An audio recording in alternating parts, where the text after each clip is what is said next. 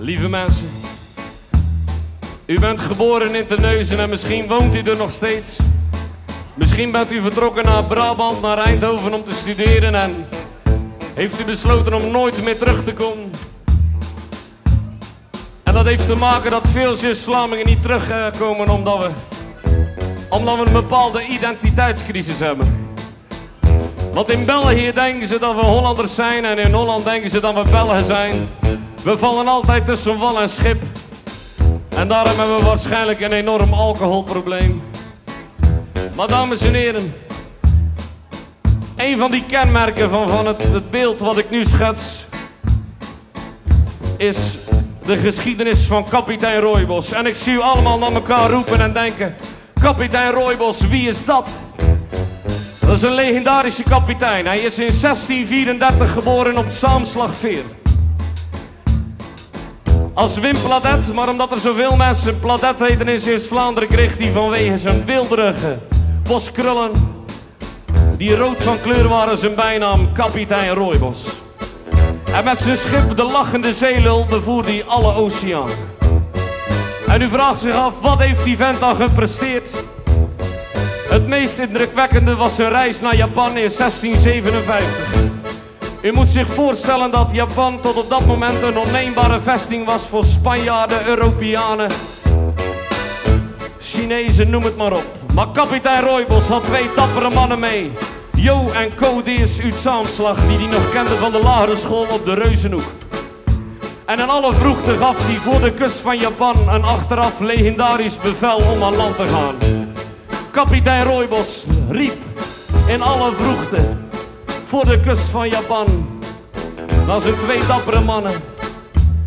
Yo! Go! Hama! De andere ochtend werd het Japanse dorp Yokohama naar dit bevel vernoemd. Tegenwoordig wonen er 14 miljoen. Over de Schelde. Over de Schelde.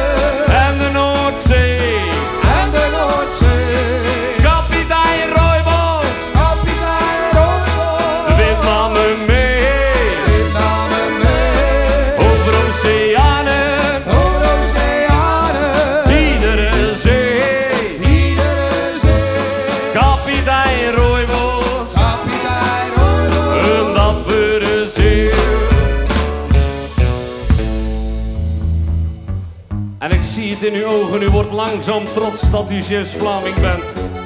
Maar dit is niet het enige wat kapitein Rooibos gepresteerd heeft. U moet zich voorstellen dat we in de 17e eeuw Noord-Amerika alleen kenden. Ongeveer tot ter hoogte van New York, daarboven kwamen we niet. Maar kapitein Rooibos zette koers over de noordelijke ijszee richting Noord-Amerika. Maar daar strandden ze op een ijsschots.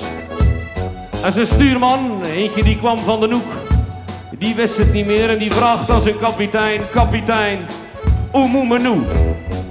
Daarop spreekt kapitein Rooibos de legendarische woorden: Ja, je kan naar hier en je kan naar daar. Ze gingen naar Canada. Dames en heren, dit is een shanty. De band zingt, het publiek volgt. Over de Schelde.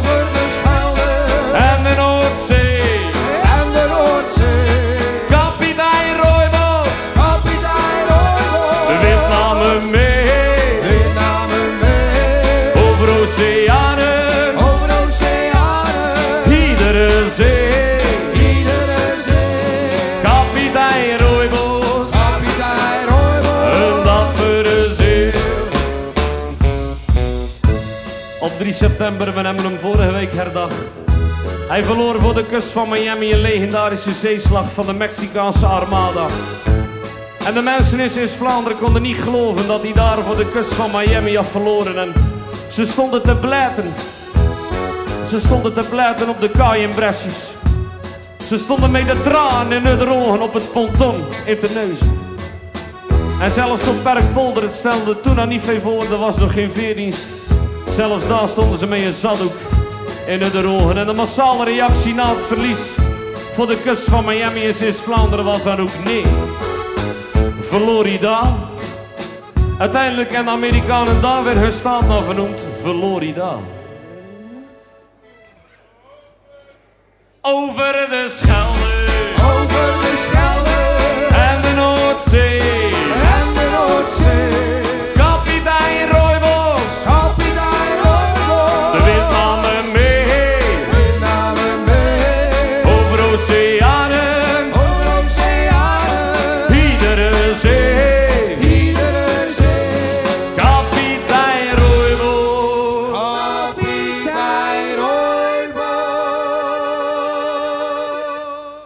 Lieve mensen in deze foyer, wat was die, wat was die?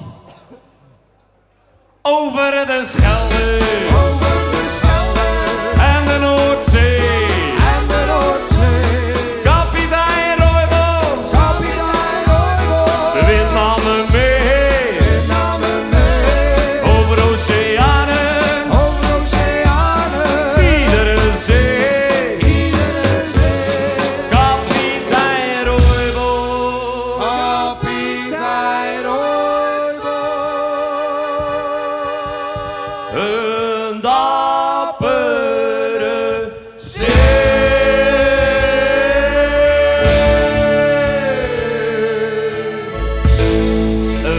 Brasil.